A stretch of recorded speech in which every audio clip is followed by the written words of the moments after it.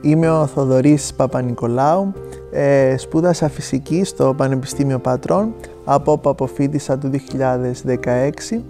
Στη συνέχεια πραγματοποίησα μεταπτυχιακές σπουδές στην École Normale Supérieure στο Παρίσι και στο Πανεπιστήμιο της Ορβόνης, πάνω στη θεωρητική φυσική και στην, ε, στην κοσμολογία. Στη συνέχεια πραγματοποίησα διδακτορικές σπουδές στο Παρί Ντερό,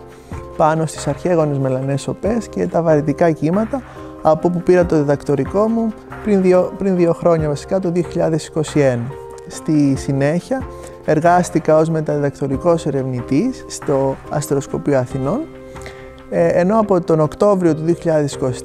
ε, είμαι πλέον στην Ιταλία, στη Σκόλα Superiore Meridionale,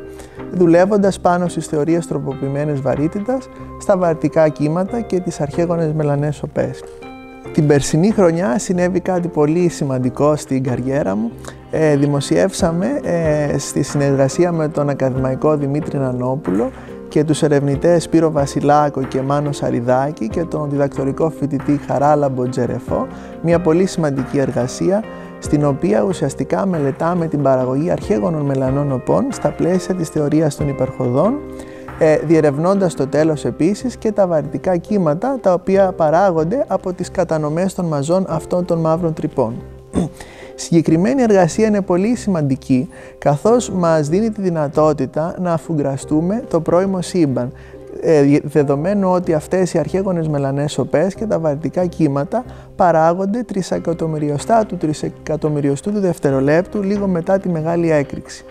Επομένως ήταν κάτι πολύ σημαντικό με τον οποίο μπορούμε να τεστάρουμε μια θεμελιώδη θεωρία της φυσικής, τη θεωρία των υπερχοδών, η οποία ε, ε, μπορεί να ενοποιήσει όλες τις δυνάμεις και να ε, μας δώσει μια ολιστική εικόνα για το σύμπαν.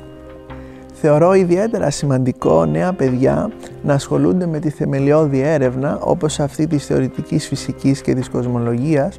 καθώς μέσα από αυτές τις επιστήμες μπορούμε να απαντήσουμε θεμελιώδη ερωτήματα του ανθρώπου όπως αυτό της δημιουργίας του κόσμου μας.